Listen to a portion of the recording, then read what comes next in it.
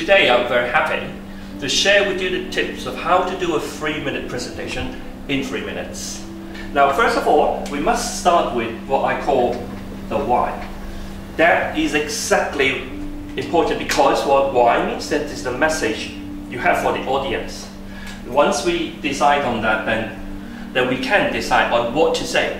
And of course, more importantly, the audience would be important because what you're going to say must kind of match the interest and what's in it for the audience. Now, some other thing you probably ask would be, would that also be relevant? We'll be talking about where and when. Now, it's relevant. Say, for example, if you're going to deliver a speech after dinner, you probably would like everything to go a bit light-hearted. And where, depending on the, on the venue that you're going to do your presentation. So all that are relevant. Now, the how is what I'm going to explain to you, how we're going to do this three-minute presentation. I would like to introduce you, I call the fish rib method. Look cute, right? now this is what I call the opening.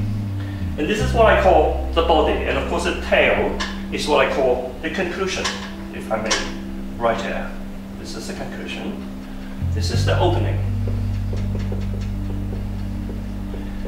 The opening, the conclusion somehow will match with your why. You have a message for the audience. This is how you start with the opening and conclusion. For example, you want to go green. So obviously you will say something on what I'm going to talk about in the opening. And the conclusion, of course, you like to recap what you have said in your speech so as to leave the audience a very clear message that they can take home.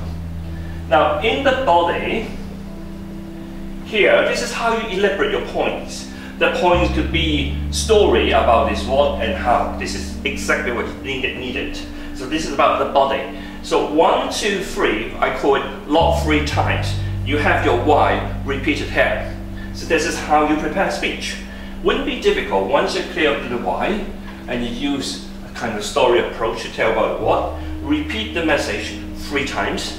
People are going to get it.